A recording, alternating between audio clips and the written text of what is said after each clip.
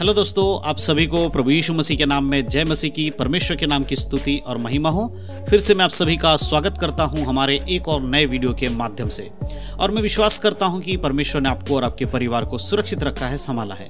दोस्तों, आज के समय में बहुत सारे लोग हैं जो प्रभु यीशु मसीह पर विश्वास करते हैं, खुद को एक विश्वासी कहते हैं, और चर्च भी जाते हैं, बाइबल भी पढ़ते हैं, प्रार्थना भी करते हैं। लेकिन बहुत सारे ऐसे मसीह लोग हैं जो आज बहुत सारे गलतियों को कर रहे हैं। प्रभु यीशु मसीह पर विश्वास करने के बाद भी वो बहुत सारे ऐसे पाप कर रहे हैं जो वचन के विरोध में है।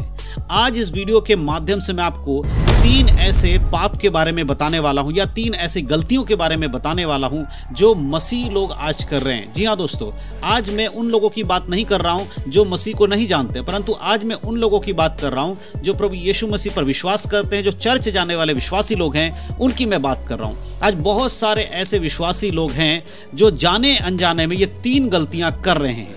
आज की वीडियो को बड़े ध्यान से देखिएगा, समझने की कोशिश करिएगा, क्योंकि आपके आत्मिक जीवन के लिए बहुत ही ज़्यादा ज़रूरी है। आज मैं आपको तीन ऐसी गलतियाँ बताऊँगा जो अधिकतर मसीह लोग आज भी कर रहे हैं।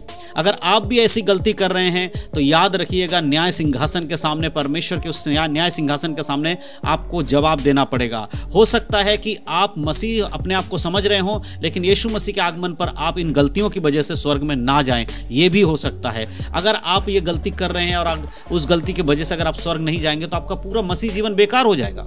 आपने यीशु मसीह को उद्धारकर्ता के रूप में मान लिया है, लेकिन फिर भी अगर आप इन गलतियों को कर रहे हो तो हो सकता है कि आपका वो उद्धार खत्म हो जाए। प्रभु यीशु मसीह जब इस संसार में अपने लोगों को लेने आएँगे, तब वो आपको लेकर नहीं जाएँगे। इसीलिए इन गलतियों को जान लेना और उससे बचना, अगर आप उसको कर रहे हैं, उससे निकलना और प्रभु से क्षमा मांगकर फिर से प्राश्चित करके एक नई ज़िंदगी जीना आपके लिए बहुत ज़रूरी है। तो उसके लिए सबसे पहले आपको पता होना चाहिए कि ये तीन गलतियाँ क्या है जो आज मसीह के लोग कर रहे हैं।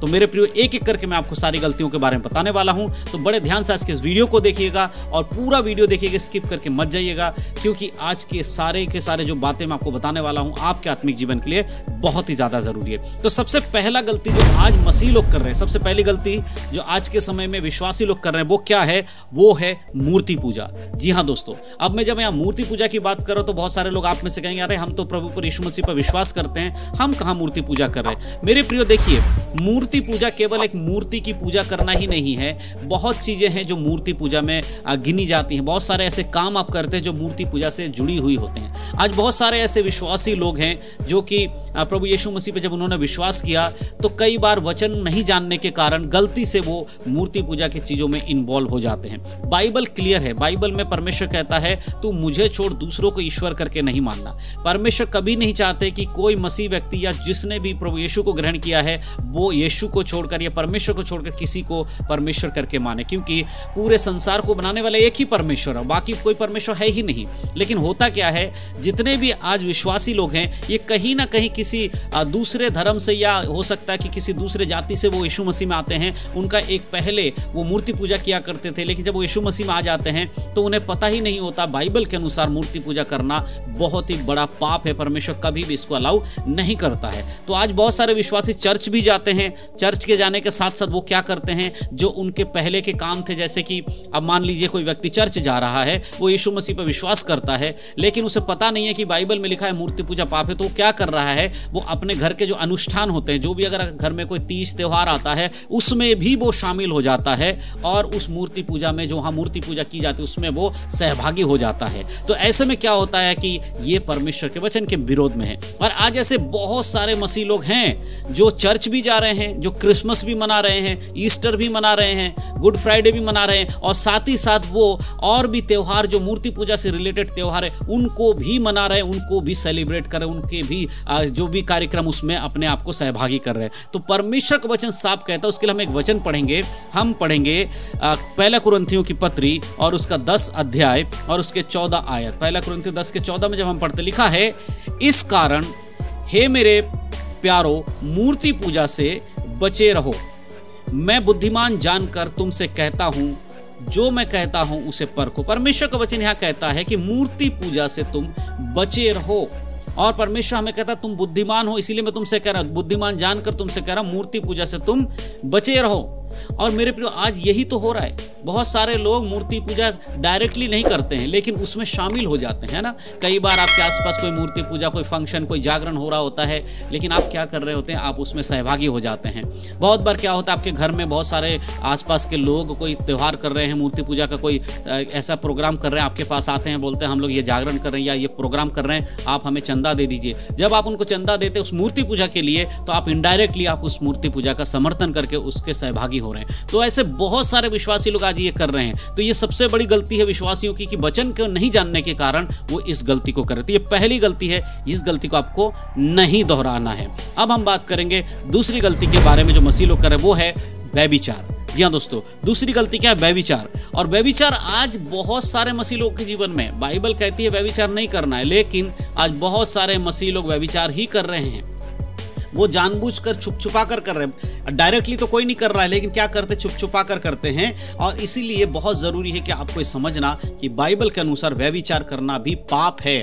उसके लिए मैं एक वचन आपको पढ़ के सुनाना चाहता हूँ। हम पढ़ेंगे मती रची सुसमाचार, उसका पाँच अध्याय, उसके सत्ताईस और अट्ठाईस आय। देखिए, यहाँ पर क्या लिखा? लिखा है, तुम सुन चुके हो कि कहा गया था कि व्यविचार ना करना, परंतु मैं तुमसे यह कहता हूँ कि जो कोई किसी स्त्री पर कुदृष्टि डाले, वह अपने मन में उससे व्यभिचार कर चुका।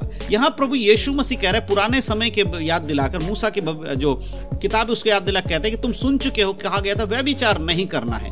परंतु अब मैं तुम्हें एक नई आज्ञा दे रहा हूँ कि तुम व्यभिचार को करना तो छोड़ो, तुम उसके बारे में सोच भी नहीं सकते। अगर तुम किसी स्त्री को देखकर, किसी महिला को देखकर अपने मन में कुछ विचार, गलत विचार लाते हो तो तुम्हें फ़िज़िकल व्यविचार करने की ज़रूरत नहीं है, तुम्हें किसी के साथ शारीरिक व्यविचार करने की ज़रूरत नहीं है, तुम आँखों से ही व्यभिचार कर चुके हो। और आज के समय में बहुत सारे ऐसे मसीह भाई बहन लोग हैं, जिन आज खासकर नौजवान लोग ऐसे हैं, जो कि इस वचन को समझ नहीं पाते हैं और वो कहीं ना कहीं व्यविचार में गिर जाते हैं। आज बहुत सारे ऐसे हमारे नौजवान यूथ हैं, मसीह में नौजवान लोग हैं जो गर्लफ्रेंड बॉयफ्रेंड बना रहे हैं। मेरे प्रियो, अगर आपका कोई गर्लफ्रेंड, आपकी कोई गर्लफ्रेंड है और आपका कोई बॉयफ्रेंड है मेरी बहनों तो याद रखिए कि आप जो कर रहे हो वो व्यविचार है, क्योंकि आप एक स्त्री या पुरुष को देखकर अपने मन में बुरी लालसा को ला रहे हैं। आज ये जो लव की बात चलती है, लोग कहते हैं बॉयफ्रेंड गर्लफ्रेंड होना नॉर्मल है। नॉर्मल नहीं है, प्रभु की नज़र में नॉर्मल नहीं है, क्योंकि जब भी कोई ऐसा सोचता है, उसके मन में बुरे विचार ही आते हैं। किसी स्त्री को देखकर, किसी पुरुष को देखकर अगर आप मन में व्यविचार ला रहे हैं, प्रभु की आत्मा कहती है कि ये व्यविचार बहुत ही घिनौना प्रभु इससे बचने के बारे में कहती है। तो ये दूसरा पाप जो आज बहुत सारे मसीह लोग कर रहे हैं, नौजवानों के साथ साथ कुछ शादीशुदा लोग भी इस पाप में गिरे हुए हैं। इसीलिए अपने आप को संभालिएगा। अगर आप एक विश्वासी है तो इन पापों से अपने आप को बचाइएगा। अब हम तीसरे और अंतिम पाप के बारे में जो गलती है, मन मसीह लोग कर रहे हैं, उसके बारे में बात करेंगे।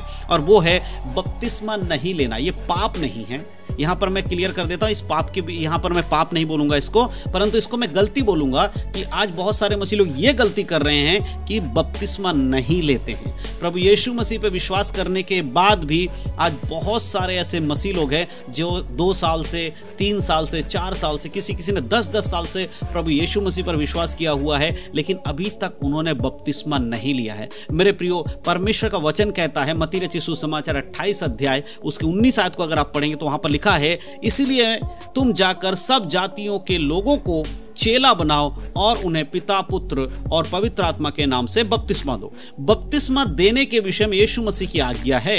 यीशु मसीह ने आज्ञा दिया है कि एक व्यक्ति जो विश्वास करता है जो चेला बनता जो प्रभु यीशु मसीह की बातों को मानता है जो अपने आप को यीशु मसीह का आ, संतान कहता परमेश्वर संतान कहता उद्धार पा लेता है उसके लिए बपतिस्मा लेना ज़रूरी है। तो आज बहुत सारे ऐसे लोग हैं जिन्होंने अभी तक बपतिस्मा नहीं लिया। हो सकता आप में से भी बहुत सारे ऐसे होंगे जिन्होंने अभी तक बपतिस्मा नहीं लिया। अगर आप भी ऐसे हैं जो कई वर्षों से प्रभु में हैं, लेकिन अभी तक आप बपतिस्मा नहीं लिए हैं तो ये बहुत बड़ी गलती आप कर रहे हैं। क्योंकि यीशु मसीह के आगमन पर अगर आपने बपतिस्मा लिया ही नहीं है तो आपका उद्धार कंप्लीट नहीं हो रहा ना। क्योंकि आज्ञा है वो, मानना ही पड़ेगा। वचन के अनुसार आपको बत्तीसवा लेना ही पड़ेगा। अगर आप बत्तीसवा लेने के योग्य हैं तो लायक हैं तो। कई बार क्या होता है, लोग हॉस्पिटल में कोई व्यक्ति ऐसी परिस्थिति में है कि वो बत्तीसवा नहीं ले सकता। मैं उसकी बात नहीं कर रहा परंतु जो चलते फिरते लोग हैं, उठ सकते हैं, बैठ सकते हैं। ऐसे बहुत सारे लोग हैं जिन्होंने अभी तक बपतिस्मा नहीं लिया है। तो मेरे प्रियो, आप बपतिस्मा ज़रूर लीजिएगा, रुकिएगा मत। अगर आपने रोक के रखा अपने आप को तो हो सकता है कि आने वाले टाइम में आप इस गलती को दोहराते। ऐसे समय आ जाएगा यीशु मसीह का आगमन हो जाएगा, या फिर हम में से किसी की मौत हो जाएगा और बत्तीसवा नहीं हुआ तो फिर स्वर्ग जाना क्लियर नहीं हो पाएगा। इसलिए बहुत ज़रूरी है कि ये तीन गलतियाँ जो मसीह लोग कर रहे हैं, उसे नहीं करना है। अगर आप भी ये तीन गलती कर रहे हैं तो अपने आप को इस गलती से अलग कीजिए। प्रभु से क्षमा मांगिए और इन सारे बातों से अपने आप को बचा के रखिए। सबसे पहली बात क्या है कि मूर्ति पूजा से दूर रहना है। केवल मूर्ति पूजा ही नहीं, परंतु अगर आप उसके किसी भी कार्य में शामिल होते हैं तो वो मूर्ति पूजा करने के बराबर ही माना जाएगा। दूसरा है, व्यविचार से अपने आप को बचाइए, क्योंकि आप व्यविचार शारीरिक रूप से करने से ज़्यादा देखने से भी व्यविचार होगा, इसलिए अपने आँखों को बहुत ही सावधानीपूर्वक रखें किसे देख रहे हैं, क्या देख रहे हैं सब पे परमेश्वर की नज़र है। और तीसरी जो आखिरी बात है, वो है बत्तीसवा अगर आपने नहीं लिया है तो आज ही आप बपतिस्मा ले लीजिए, अपने पास्टर से बात करिए, क्योंकि विश्वास के बाद बपतिस्मा लेना ज़रूरी है। तो मैं विश्वास करता हूँ कि इन बातों के द्वारा जो तीन बातें, तीन गलतियाँ आज मसीह लोग कर रहे हैं, मैंने आपको बताया, आपको समझ में आया। अगर आपको अच्छा लगा हो तो इस वीडियो के माध्यम से अपने दोस्तों को ज़रूर इसके बारे में बताएँ। मसीह भाई बहनों में शेयर ज़रूर करें, और हमारे चैनल पर पहली बार है तो चैनल को सब्सक्राइब करें। बेल के आइकन को प्रेस कर लें हमारे और भी वीडियोज़ के नोटिफिकेशन पाने के लिए। तो परमिशन सारी बातों के द्वारा प्रकाशित दे। यीशु मसीह के नाम में सबको जय मसीह की। गॉड ब्लेस यू आशीषित रहें प्रभु में बढ़ें। उद्धार में बने रहें। यीशु के नाम में। आमीन।